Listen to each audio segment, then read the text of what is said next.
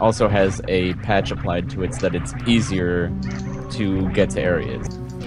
There's nothing in here! No! I went to ice speed room and there was nothing. Still nothing here! Well, that was pretty pointless. It didn't give me any items. Ah! Yeah. Ah!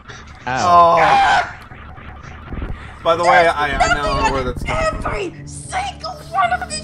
fucking pedestals! Well, I have to restart.